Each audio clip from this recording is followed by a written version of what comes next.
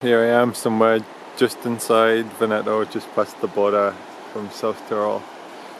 On this path going down the mountain from 1500 meters to about 200 so it could be a exciting journey down.